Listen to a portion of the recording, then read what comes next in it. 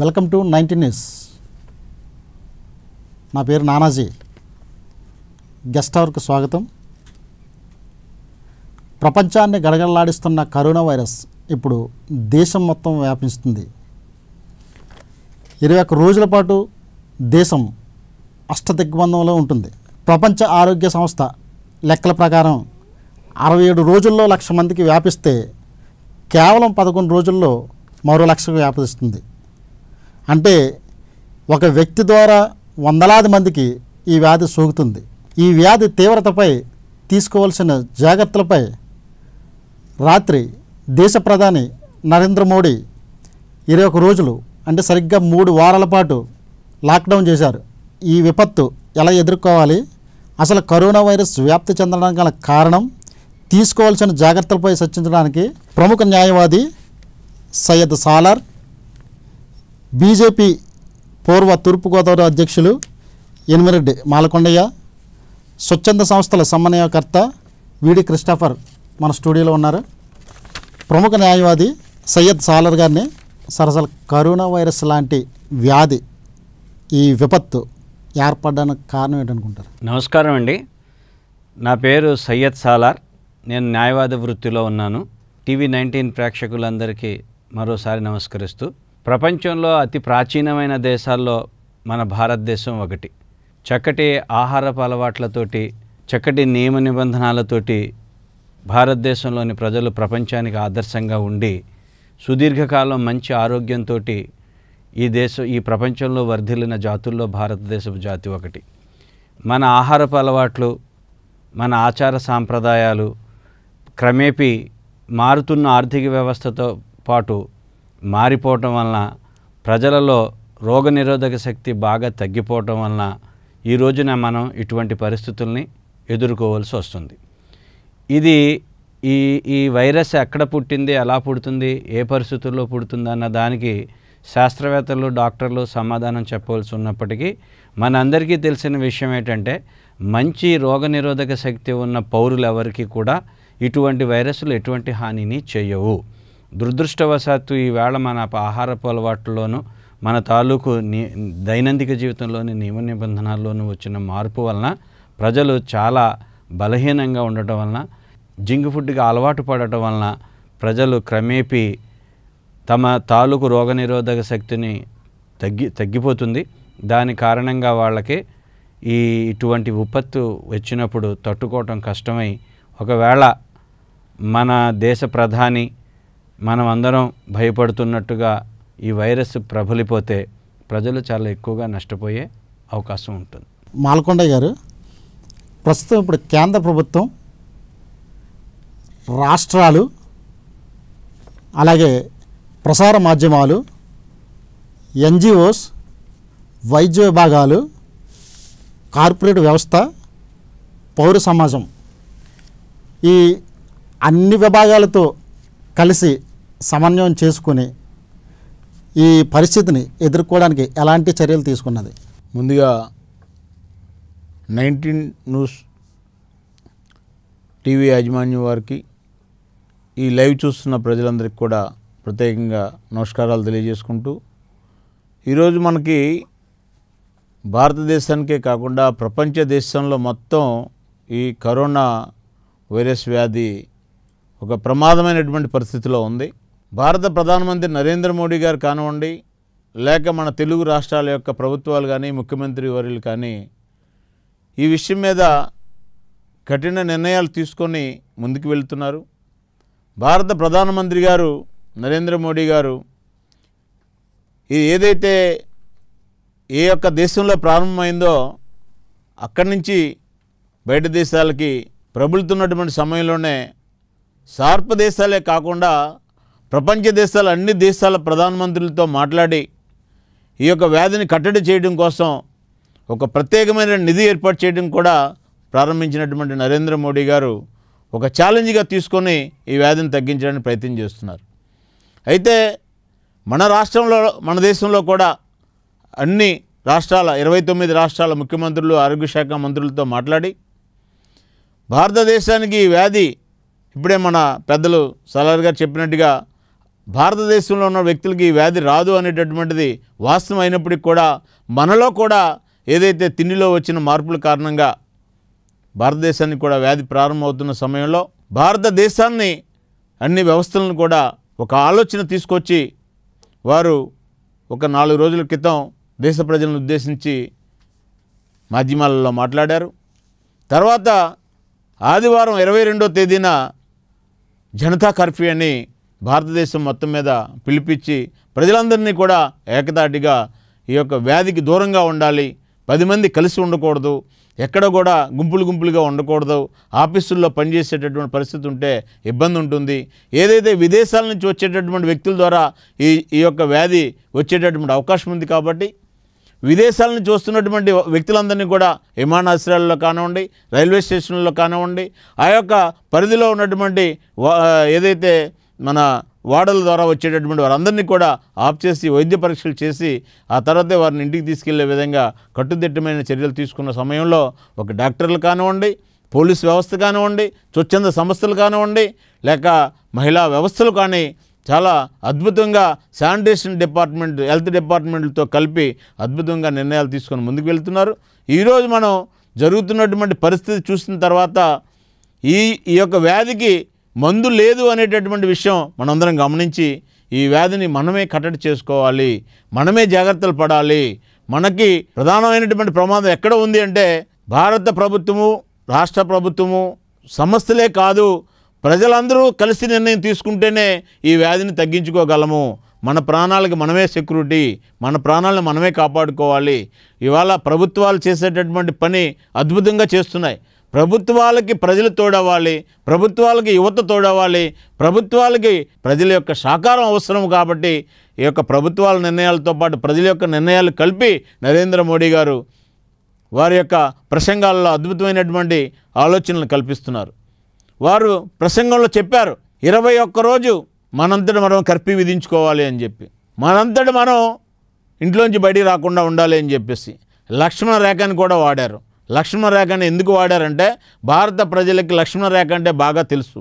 భారత ప్రజలకి లక్ష్మణ రేఖ అనేది సీతాదేవి బయటికి వెళ్ళకుండా ఉండటం కోసం గీసినటువంటి ఈ యొక్క గీత ఏదైతే ఉందో అది లక్ష్మణ రేఖ అన్నారు. దానికి భారత ప్రజలు బాగా గుర్తిస్తారు. దాని మీద ఒక ఐడియా ఉంటుంది కాబట్టి ఆ విధమైనటువంటి లక్ష్మణ రేఖ అనేది వాడి ప్రజలను చైతన్యపరుస్తున్న సమయంలో మనము ఇవాళ మనం నైన్టీన్ న్యూస్ టీవీలో కూర్చున్నాం. టీవీ ద్వారా ప్రజలందరూ కూడా చైతన్యం అవ్వాలి.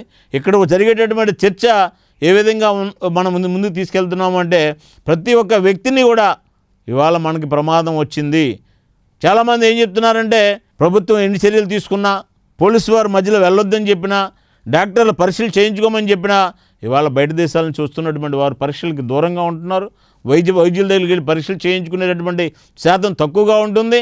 ఆ విధంగా ప్రభుత్వం ఎక్కడైతే ఎయిర్పోర్ట్లో దిగినా రైల్వే స్టేషన్లో దిగినా గుర్తించి ప్రభుత్వం వారు పంపించిన లిస్ట్ ప్రకారం కింద ఉన్నటువంటి వాలంటీర్లు వెళ్ళి వాళ్ళకు వైద్యం చేస్తున్నారు కానీ వారంతటి వారు ఊరి నుంచి వచ్చినటువంటి వ్యక్తులు బయట దేశాల నుంచి వచ్చినటువంటి వ్యక్తులు మేము పలానా ఊరి నుంచి వచ్చాము మాకు పరీక్షలు కావాలి మేము పరీక్షల అనంతరం పద్నాలుగు రోజులు మా అంతటి మేము ఒక గదిలో ఉంటాము ఈ యొక్క వ్యాధిని ఈ యొక్క వైరస్ వ్యాధిని మేము దూరంగా పెడతామనేటటువంటి ఆలోచన మనము పొందినప్పుడు ఈ ప్రభుత్వ నిర్ణయాలు ఇంప్లిమెంటేషన్ అవుతాయి తప్ప మనము ప్రభుత్వాలను గౌరవించకుండా ఈ యొక్క ఆలోచన మనం చేయకోకుండా ప్రభుత్వాలే ఇవన్నీ చేయాలి అంటే ఈరోజు జరిగినటువంటి పరిస్థితి. దయచేసి ఈ యొక్క నైన్టీన్ న్యూస్ టీవీ నుంచి నేను ప్రజలందరినీ ప్రజల ప్రజలందరినీ కూడా కోరేది ఏంటంటే ఇవాళ మనకు కావాల్సినటువంటి మాస్కులు అందుబాటులో లేవని చెప్పి అనుకుంటున్నాం. స్వచ్ఛంద సంస్థలు ముందుకు వచ్చి మాస్కులు కూడా తయారు చేసి అందించవలసిన అవసరం ఉంది. ఇవాళ ఎంపీలు ఎమ్మెల్యేలు ఇండస్ట్రీ వ్యక్తులు కూడా బయటకు వచ్చి కోట్ల రూపాయలు ఈ వ్యాధికి ఖర్చు పెడతామని చెప్పి బయటకు వస్తున్నారు కదిలి రావాలని చెప్పి అటు ఇండస్ట్రీ వ్యక్తుల్ని యువకుల్ని పెద్ద పెద్ద వ్యక్తులు ఇవాళ ఎలక్షన్లు వస్తే కోట్ల రూపాయలు ఖర్చు పెట్టి ఓట్ల ఎలక్షన్లో ఖర్చు పెడుతున్నారు. ఈ యొక్క వ్యాధికి మీ యొక్క ఆలోచన ఏదైతే ఉందో ఈ వ్యాధి చూడకుండా కావాల్సినటువంటి వ్యవస్థలు ముందుకెళ్ళడానికి ఉదారంగా ముందుకు వచ్చి ఈ యొక్క వైరస్ వ్యాధిని ఆదుకోవడానికి అందరూ కూడా ముందుకు రావాలి. ప్రభుత్వాలతో పాటు నేను కోరుతున్నాను. ఆ విధంగా అయితే ఇది కట్టడి చేసుకోగలమనేది మన అభిప్రాయం. ఓకే. క్రిస్టఫర్ గారు ఇప్పుడు ఇలాంటి విపత్తులు భారతదేశానికి ఏమి కొత్త కాదు. గతంలో సునామీ అలాగే దివిసీమ పంతొమ్మిది వందల డెబ్బై ఏడు దివిసీమ ఎనభై ఆరులో గోదావరి తొంభై ఆరులో కోనసీమ ఇలాగ కరువు కాటకాలు చాలా వచ్చాయి. ఇలాంటి విపత్తులు వచ్చినప్పుడు కొన్ని కొన్ని ఎన్జిఓస్ సామాన్య కార్యకర్తలందరూ కూడా కలిపి ఆ ప్రోగ్రామ్ను సక్సెస్ చేశారు. ఇదొక ప్రత్యేకమైనది ఇదొక వ్యాధి గలది ఈ విపత్తు. ఇది ఎవరు పట్టుకుంటే వాళ్ళకి వచ్చేస్తుందనే జాగ్రత్త ఎవరికారు ఇంట్లో ఉన్నారు. అలాంటి సమయంలో మీ ఎన్జిఓస్ తరపున ఎలాంటి పాత్ర వహిస్తున్నారు? అసలు కేంద్రం కానీ రాష్ట్రం కానీ ఎన్జిఓస్కి ఎలాంటి పిలుపునైనా అన్న ఇచ్చేయా? లేకపోతే డైరెక్ట్గా వెళ్ళి పాల్గొని మీరన్న సహకారాన్ని అందిస్తున్నారా? ఇప్పటి వరకు కూడా నేషనల్ కలామిటీస్ ఎక్కడ జరిగినాయో ఆ ప్రాంతాల గురించి మీరు చెప్పడం జరిగింది. జాతీయ విపత్తుల గురించి కూడా మీరు మాట్లాడడం జరిగింది.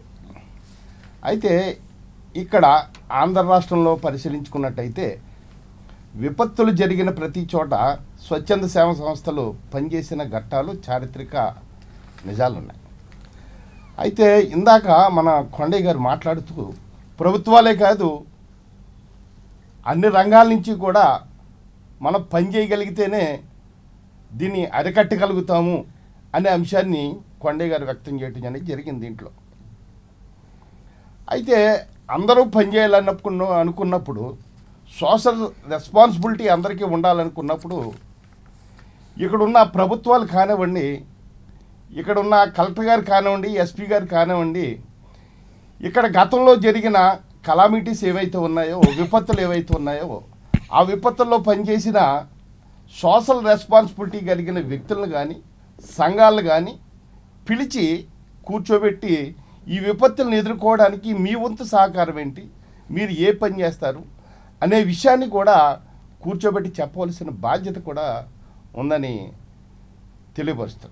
అలాగే ఇప్పుడు మేము కూడా ఈవేళ ఈ స్టూడియోలో కూర్చొని మాట్లాడడానికి సంబంధించినంత వరకు విషయం ప్రచారానికి వెళ్తుంది. మీ స్వచ్ఛంద సంస్థల వ్యక్తులుగా తీసుకోవాల్సిన జాగ్రత్తల గురించి ప్రచారం ద్వారా అన్నా సరే ప్రజల్లోకి వెళ్తుందన్న ఉద్దేశంతో ఈవేళ స్టూడియోకి రావడం అనేది జరిగింది మిత్రులు. అసలు ఈ కరోనా వైరస్ ముఖ్యంగా రోగ నిరోధక శక్తి తక్కువ ఉన్న వాళ్ళకి మాత్రమే ఎక్కువగా దాడి చేస్తుందని వైద్యులు చెప్తున్నారు.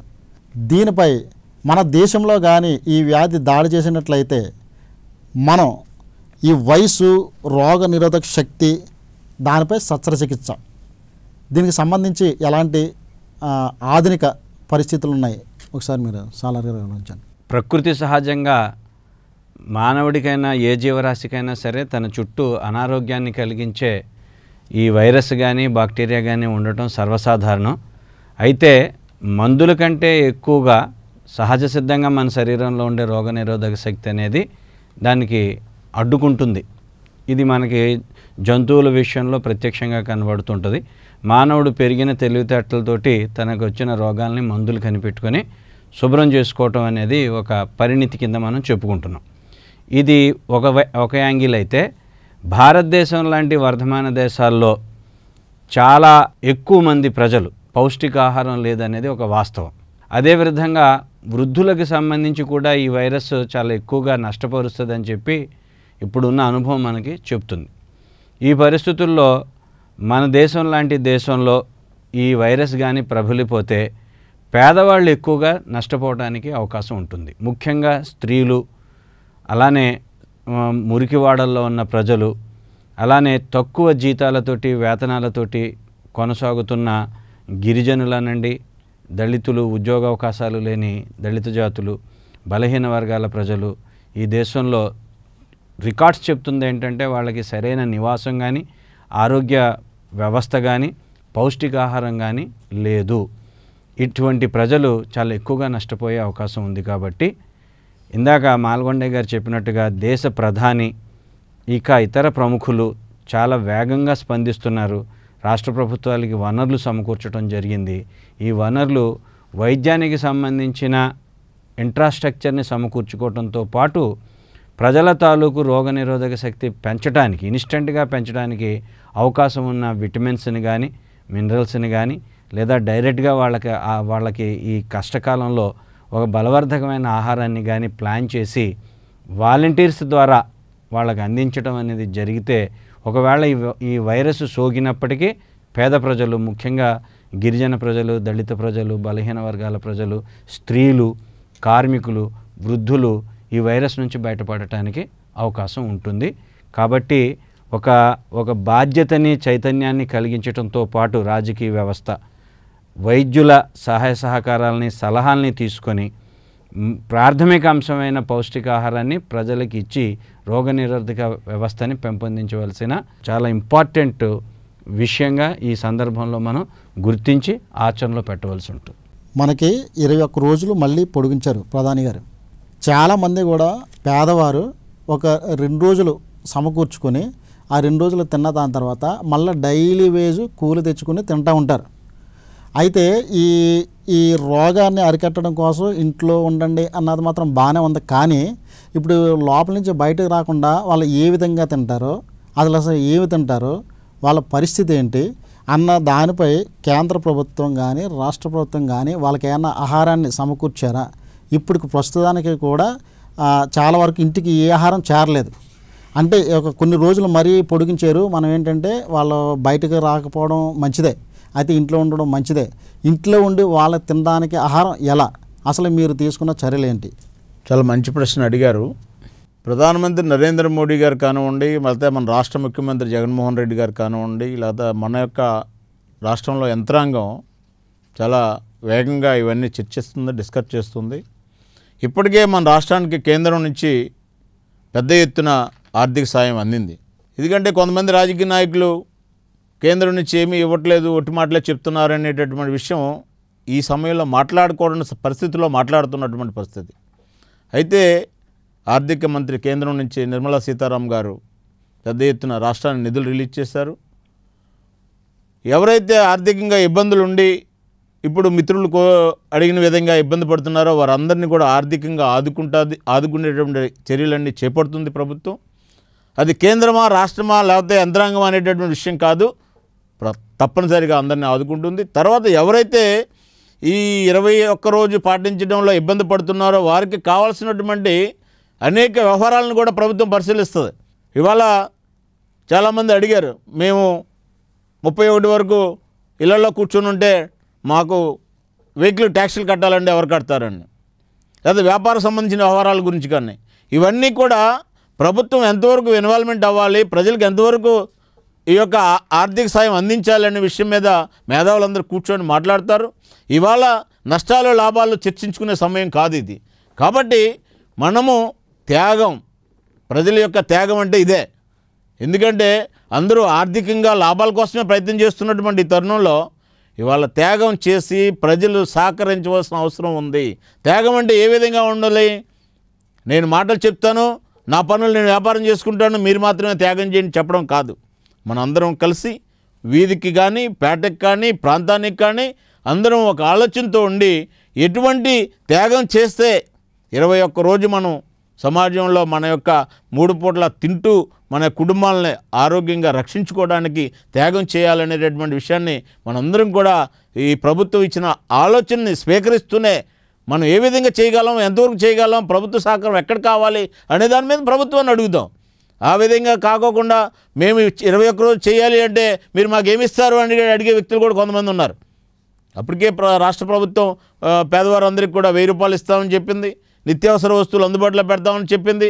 అధికారులందరూ నిరంతరం కలెక్ట్ చేస్తున్నారు ఇన్ఫర్మేషను ఇవాళ చూస్తుంటే మన టీవీల్లోనే రాష్ట్ర ప్రభుత్వం పూర్తిగా ఈ యొక్క ఇరవై ఒక్క రోజుల్లో గణాంకాలు సర్వే చేస్తామని చెప్పారు. ఇంతకన్నా అద్భుతమైన నిర్ణయాలు ఇంకేగా ఇంకేమీ అవసరం లేదు మనకి. మన యొక్క గణాంకాలు.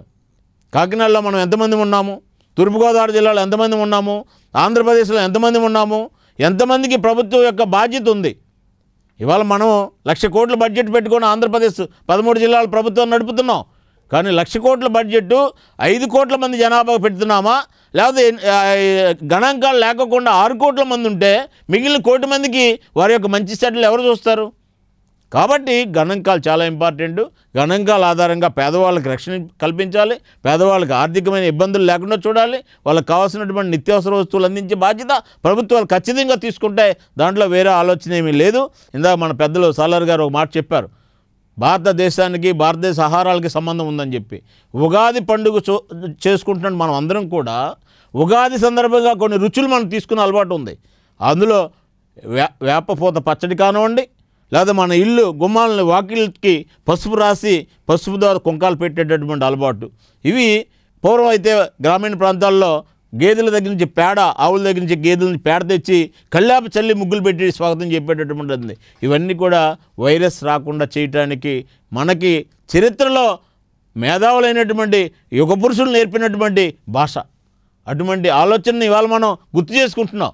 నాకు చేస్తే చాలా ఆనందంగా ఉంది. సలార్ గారు స్టూడియో గారు వచ్చి రాగానే వచ్చిన అదే డిస్కస్ చేస్తున్నారు. అంటే మన మన యొక్క మేధావులందరూ కూడా ఇవాళ మన ఆలోచనను ఎందుకు గుర్తు చేసుకుంటున్నామంటే ఇవాళ నిన్న మొన్న రెండు మూడు ఫంక్షన్లకు వెళ్ళకూడదు. కానీ ముఖ్యమైన ఫంక్షన్లు వెళ్ళాం. కానీ అక్కడ ఏం చెప్తున్నారు? సెకండ్ వద్దు. భారతీయ సంస్కారం నమస్కారం అంటున్నారు. ఈ సంస్కారం సంస్కారం ఇవాళది కాదు ఇవి. ఇలాంటి అంటురోగాలు రాకోకుండా వ్యాధులు రాకోకుండా పూర్వం మన పెద్దలు ఇచ్చినటువంటి వరం మన భారతదేశానికి. ఆ విధంగా మనం అందరం కూడా ముందుకు వెళ్ళవలసిన అవసరం ఉంది. ఎక్కడ ఎటువంటి ఇబ్బంది పడవలసిన అవసరం లేదు. ఆర్థిక ఇబ్బందులు ఉండవు. ఎటువంటి అవసరం ఉన్నప్పటికీ కూడా కేంద్ర ప్రభుత్వం పూర్తిగా ఆదుకోవడానికి సిద్ధంగా ఉంది. ఎటువంటి ఇబ్బందులు ఉన్నప్పటికీ కూడా మేము కూడా కేంద్రంతో మాట్లాడి ఈ రాష్ట్ర ప్రభుత్వానికి ఈ జిల్లాలో ఉన్న యంత్రాంగానికి ఏ విధమైనటువంటి వ్యవస్థలు కావాలో తీసుకురావడానికి మేము సిద్ధంగా ఉన్నాం. ప్రజల యొక్క లక్ష్మణ రేఖ గీసుకొని గుమ్మాలకు అవసరమైతే డోర్లకు తాళాలు వేసుకొని మనం అందరం ఇళ్ళలోనే ఉండి ఇళ్ళలో ఉండి మళ్ళీ అక్కడ మనం అందరం కూడా ఒకే ఒకే గదిలో పది మంది కూర్చోవద్దు దయచేసి. ఎందుకంటే అసలు ప్రధానమైన విషయమే అది. చాలామంది మేము ఇంట్లోనే ఉన్నామని చెప్పేసి ఆ రెండు మూడు ఇళ్ళలో కలిపి అది కూర్చుంటారు. అది కాదు. మనం పది మంది నిల్చుంటే ఒకరికి ఒకరికి మధ్యలో దూరం ఐదు అడుగులు ఉండాలని చెప్పి చెప్తున్నారు. ఎందుకంటే మనం దుగ్గి దగ్గిన తుమ్మిన మన నుంచి వచ్చేటటువంటి ఈ యొక్క ఏదైతే ఉందో అది ఐదు అడుగుల వరకు వెళ్ళి అవతల వ్యక్తి మీద పడే అవకాశం ఉంది కాబట్టి ఐదు అడుగులు పాటించాలి. మనం దగ్గిన తుమ్మిన మన దగ్గర ఉన్నటువంటి కచ్చీప్ కానివ్వండి లేకపోతే టిష్యూ పేపర్ కానివ్వండి లేకపోతే ఏదైనా మనం అడ్డు పెట్టుకొని చెప్తున్నారు డాక్టర్లు చెప్తున్నారు పెద్దలు చెప్తున్నారు సినిమా యాక్టర్లు ప్రసారం చేస్తున్నారు మోచేయి ఇలా పెట్టుకొని మనం దగ్గాలి తుమ్మాలని చెప్తున్నారు. ఇవి ప్రజల దగ్గర నుంచి త్యాగపూరితమైనటువంటి వాతావరణం కల్పించుకుంటేనే ఈ త్యాగానికి మంచి రిజల్ట్స్ వస్తాయి తప్ప మేము మా ఇంట్లో కూర్చుంటాం మాకు మూడు పూట్ల పొలాలు కావాలి మాకు తిండి కావాలి మాకు పాల ప్యాకెట్లు టయానికి రావాలి ఇది ఎవరి ఇంట్లో పెళ్ళి కాదు ఇది సమాజ కార్యం. సమాజ కార్యం ప్రజల దగ్గర నుంచే రావాలి. ప్రజలే తీర్పు. ఎలక్షన్లో చాలామంది మాకేంటి అని అడుగుతారు. ఇది ఎలక్షన్లు కాదు ఇవి. మనల్ని మనం రక్షించుకోవాలి. మన ఆరోగ్యాన్ని మనం రక్షించుకోవాలి. మన కుటుంబాలను మనం రక్షించుకోవాలి. నిన్న మన నిన్న ఇవాళ ఉదయం నేను టీవీలో పేపర్లో చూశాను. ఇది థర్డ్ స్టేజ్ వచ్చినట్లయితే చాలా ప్రమాదం వచ్చే అవకాశం ఉంది. అరవై ఐదు సంవత్సరాలు దాటిన వాళ్ళకి ఇంటిలేటర్ పెట్టడానికి ఇంటిలేటర్లు కూడా దొరకవు. అరవై ఐదు సంవత్సరాలు దాటిన వాళ్ళకి వైద్యం చేసే పరిస్థితి కూడా ఉండదు. వయసులో ఉన్న వాళ్ళని రక్షించుకొని వయసు దాటినటువంటి వాళ్ళని వదిలేసిన అంటే అర్థం ఏంటి? మీ ప్రాణాలు పోతున్నాయని తెలిసినప్పటికి కూడా మేమేమీ చేయలేము అనేటువంటి విషయం మన ముందు మేధావులు చెప్పబోతున్నారు డాక్టర్లు చెప్పబోతున్నారు. దయచేసి ప్రజలందరూ కూడా ఈ విషయాన్ని గమనించవలసిన అవసరం ఉంది. ముఖ్యంగా స్టూడెంట్స్ యూత్ ఫాలోవర్స్ ఏదైనా యూత్ తలుసుకుంటే జరిగింది లేదు చేయలేంది లేదు. యువత బయటికి రావాలి. ప్రభుత్వం పిలిచిందా లేదా? ఎమ్మెల్యే పిలిచారా లేదా? కలెక్టర్ పిలిచారా లేదా? అనేది పక్కన పెట్టండి. మన యువత మన కుటుంబాలను కాపాడుకోవాలి మన పిల్లల్ని కాపాడుకోవాలి. మన యొక్క సనాతన ధర్మంలో మన ప్రజల యొక్క ఆరోగ్యాలను మనం కాపాడుకోవాలి కాబట్టి ఖచ్చితంగా మనం అందరం బయటకు వచ్చి ఇప్పుడే అన్నగారు చెప్పారు. ప్రభుత్వాలు పిలుస్తాయి. కానీ వాళ్ళు పిలిచే లోపల వాళ్ళకు ఉన్నటువంటి టైం లోపల ఇబ్బందులు వచ్చి మనమే ముందు వెళ్దాం. దేశం మొత్తం మీద ఇరవై ఒక రోజులు లాక్డౌన్లో ఉంటే కనుక దేశానికి సరిపడా ఆహార భద్రత ప్రస్తుతానికి మన భారతదేశంలో ఉన్నదా? అసలు ఎవరు కూడా బయటకు రావద్దంటున్నారు. ఆహారాన్ని ఆ, అందరికీ అందించడానికి ఎలాంటి చర్యలు తీసుకున్నారు? ప్రజలకు కావాల్సినటువంటి ఆహారం అందించడంలో ఎక్కడా ఎవరూ భయపడవలసిన అవసరం లేదు. ప్రభుత్వాలు దానికి సిద్ధంగా ఉన్నాయి. మన ఆంధ్రప్రదేశ్ వరకు మనం చూసినట్లయితే కాకినాడ కేంద్రంగానే చూస్తే ఒక సంవత్సరానికి సరిపడేటటువంటి ఆహార దినుసులన్నీ కూడా నిలవన్నాయి. అదేవిధంగా ఆంధ్రప్రదేశ్లో అనేక ప్రాంతాల్లో నిలబెట్టినటువంటి వ్యవస్థ చాలా ఎక్కువగా ఉంది. ఆహారానికి సంబంధించినటువంటి విషయాలు ఎక్కడ భయపడాల్సిన అవసరం లేదు. కానీ అది సేమ్ టైం మేము ఇళ్ళలోనే ఉంటాం. మాకు మూడు పూట్ల ఫుడ్ పలావులు కావాలి లేకపోతే ఇంకోటి కావాలి ఇంకోటి కావాలి కోరికలు పెంచుకొని మాకు వాళ్ళు చేయలేదంటే అది కరెక్ట్ కాదు. మనము ఈ ప్రభుత్వాలు ఇచ్చిన పిలుపుకి ఈ ప్రభుత్వం కోసం మనం చేయట్లా. మన యొక్క ప్రాంతంలో మన యొక్క ప్రజలు మన యొక్క కుటుంబాలు మన యొక్క చెల్లెళ్ళు మన యొక్క తమ్ముళ్ళు మన యొక్క పిల్లల్ని రక్షించుకోవడం కోసం ఈ యొక్క వైరస్ వ్యాధిని దూరంగా పెట్టడం కోసం మనంతటా మనం వేసుకుంటున్నటువంటి ఒక విధమైనటువంటి పనిష్మెంట్ అని భావించి మనం ఇవాళ ఎక్కడికైనా వెళ్తున్నప్పుడు ఒక పూట ఫుడ్ లేకపోతే పని మీద దృష్టి పెడతాం తప్ప టయానికి ఆకలి గుర్తించినటువంటి పరిస్థితులు ఏదైతే ఉంటుందో ఆ విధంగా మనం కూడా మన యొక్క ఆలోచనను ఈ విధంగా మార్చుకొని మనకు ఉండేటటువంటి వసతులను దృష్టిలో పెట్టుకొని అన్నీ కూడా ప్రజలు సహకరించాలనేటటువంటిది ముఖ్యమైన విషయం. ఒకవైపు ఉంటే ఖచ్చితంగా ప్రజలకు కావాల్సినటువంటి ఆహార దినుసులు కానీ వారికి కావాల్సిన మెడిసిన్ విషయం కానీ ప్రభుత్వం ఖచ్చితంగా చూస్తుంది. అందులో చూడకుండా ఉండే పరిస్థితి లేదు. ఇవాళ నరేంద్ర మోడీ గారు ప్రభుత్వానికి ఎప్పటికప్పుడు అన్ని ప్రభుత్వాలను కూడా మేల్కొల్పుతున్నారు. రోజు మాట్లాడుతున్నారు. నిన్న ఉదయం పదకొండు గంటలకి ఆంధ్రప్రదేశ్లో వాతావరణం చూస్తే మొత్తం జనమంద రోడ్డు మీదకి వచ్చి ఉన్నారు. వెంటనే ఢిల్లీ నుంచి హోమ్ మినిస్టర్ నుంచి లేదా పిఎం ఆఫీస్ నుంచి ప్రభుత్వాలు మాట్లాడినప్పుడు గంటలో అన్ని జిల్లాలలో కూడా యాక్టివ్ అయ్యి వాతావరణం మారినటువంటి పరిస్థితి. కాబట్టి మనం దేనికోసమో భయపడాల్సిన అవసరం లేదు. మనము ఇవాళ మనం చేయవలసింది ఏంటంటే త్యాగం. అది ఏ త్యాగం అనేటటువంటిది మనం సమయాన్ని బట్టి ఇవాళ టయానికి మనకు భోజనం అందుబాటులో లేకపోతే ఆ భోజనం కోసమే మనం ప్రయత్నం చేయకోకుండా ఇవాళ మన ఇంట్లో ఏదైనా ఫంక్షన్ చేసినప్పుడు వంద మంది కోసం ఏర్పాటు చేస్తే నూట యాభై మంది వస్తారు. అంటే నూట యాభై మందికి ఏ విధంగా సర్దాలి అనేటటువంటి ఒక ఆలోచన మనం చేయాలి. ఆ ఆలోచనని అందిపుచ్చుకోవాలి. చుట్టుపక్కల ప్రాంతాల అందరితో మనం అందరం కలిసిమెలిసి ఉండాలి. భోజనమే ఇంపార్టెంట్ కాదు. మన యొక్క ఆర్థిక సంపాదన ఇంపార్టెంట్ కాదు. మన యొక్క డబ్బులు ఖర్చు పెట్టడం ఇంపార్టెంట్ కాదు. ఈ యొక్క ఏదైతే మనం తీవ్రంగా ఎదుర్కొనేటటువంటి ఈ వ్యాధిని తరిమి కొట్టడం ఇంపార్టెంట్ కాబట్టి మనము ఆ విధంగా ఆలోచించాలని చెప్పి అందరినీ కోరుతున్నాను. క్రిస్టఫర్ గారు ఈ భారతదేశం యొక్క ఆహారపు అలవాట్లు ఈ విలువలు నశించడానికి పరిస్థితి కారణం ఉంటారా సమాజంలో ఒక మార్పు చెందుతుంది మార్పు. ఆ మార్పు ఏంటంటే కింద స్థాయి విధానాన్ని వ్యవసాయ విధానాన్ని వ్యవసాయ కూలీల్ని అంతర్గా అంతకు ముందున్న వాళ్ళ యొక్క సంస్కృతిని కాకుండా వేరే సంస్కృతికి తీసుకెళ్ళడం ద్వారా ఈ ఆహార అలవాట్లు కూడా మారినాయి అని చెప్పాలి మనం. అదే సంస్కృతిని ఈ సమాజంలో ఉంచినట్లయితే ఆ ఆహారపు అలవాట్లు కానీ వాళ్ళ సంస్కృతిలో కానీ మార్పు రాదు. అలాగే ఇందాక మాలకొండయ్య గారు మాట్లాడుతూ ఈ సమాజంలో సమస్య ఉన్నప్పుడు చాలా రొట్లు కోసం కూడా ఎదురు చూశారు ఇక్కడ. పైనుంచి ఆహారానికి రొట్లు విసరడం ఆ రొట్లు పంచుకుని తినడం పులిహారీలు పంపకం చేయడం ఇలాంటి మేము మాకు ఇంచుమించు ఇరవై ఐదు ముప్పై సంవత్సరాల కాలంలో జరిగిన సందర్భాలు పరిశీలించినట్టయితే వాళ్ళ కోరికలు కూడా విపరీతంగా ఉన్నట్టుగా ఏం లేదు. ఆహారం ఉంటే బ్రతకడానికి అవకాశం ఉంటుంది అనే ఆలోచనతో సమాజంలో ఉన్న ప్రజలు ఉన్నారు.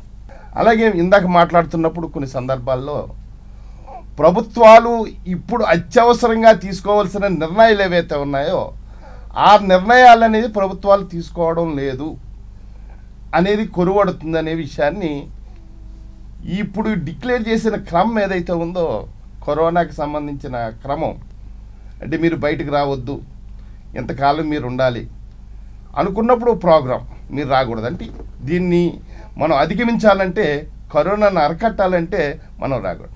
కానీ దీనికి సంబంధించిన ప్రత్య ప్రత్యామ్నాయం మేము చూపిస్తున్నాం అనే విషయాన్ని కూడా దాంతో పాటుగా అంటే ముఖ్యంగా ముఖ్యంగా క్రిస్టఫర్ గారు పేదరికంలో ఉన్న ప్రజలకి ఆ భద్రత ఫ్యామిలీకి సంబంధించిన భద్రత ప్రభుత్వ హామీ అది. అవసరం. ఎందుచేత అవసరం ఉంటే రెండు కావాలి. ప్రజల ప్రజలు ప్రభుత్వాలు ఇచ్చిన పిలుపుని గౌరవించాలి. ప్రజలకు సంబంధించిన ఆహార ఉత్పత్తులు మందులు కూడా ప్రభుత్వం సప్లై చేయాలి. లేదా ఏడు గంటల నుంచి బయటికి రాకూడదు అన్న విషయం. మరి ఇది ఎలా సమీకరించుకోవాలి ఆహారాన్ని? కర్ఫ్యూని బాగానే విధిస్తుంది గవర్నమెంట్. బాగానే చెప్తుంది విషయాన్ని. ప్రజలకు సంబంధించిన సోకూడదని ఇదంతా బాగానే ఉంది. కానీ ప్రభుత్వాలు కూడా ఇటువైపు కూడా ఆలోచించి గలిగితే వాళ్ళు ఎక్కువ శాతం బయటకు రావడానికి ఇది మనుగడకి సంబంధించిన భయం ఉంటుంది. వాళ్ళు కూడా రాకపోకల్ని తగ్గించేస్తారు. ఎందుచేతనంటే ఇంట్లోనే ఆహార భద్రత ఉంటుంది. కాబట్టి ఇటువైపు కూడా ప్రభుత్వాలు ఆలోచించవలసిన అవసరం ఉందని చెప్పి నేను తెలియవచ్చు ఎమర్జెన్సీ టైంలో ప్రభుత్వాలు ఇన్ని ఆలోచించి ఎమర్జెన్సీ డిక్లేర్ చేయడానికి కుదరదు.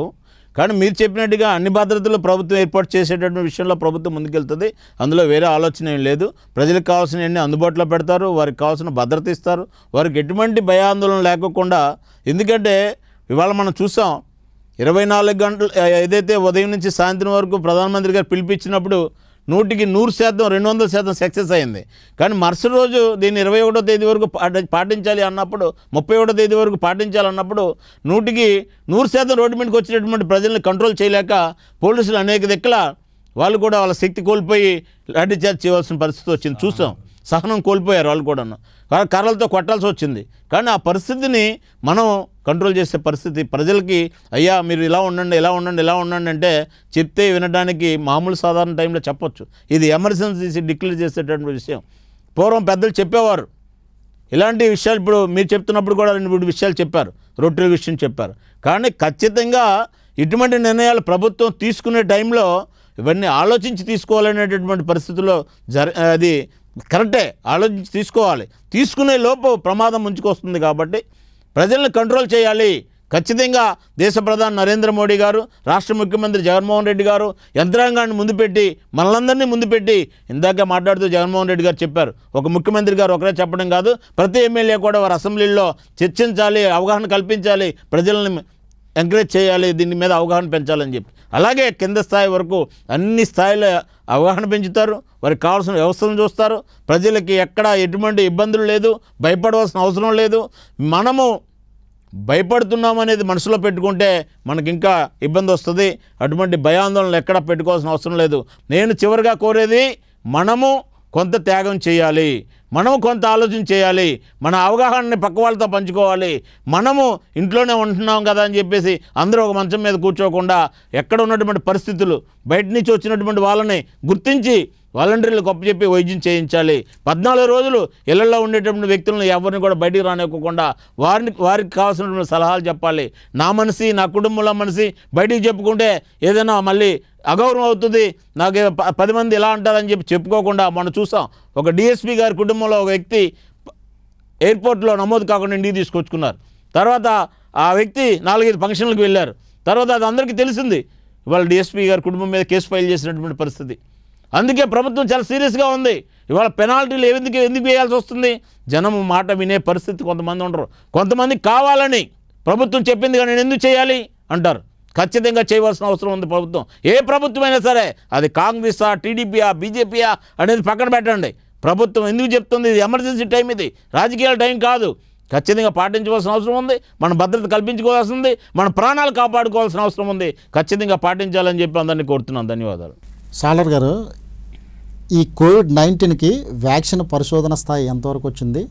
అసలు దీనికి మందు కనిపెట్టారా? లేకపోతే ఏంటి దాని గురించి?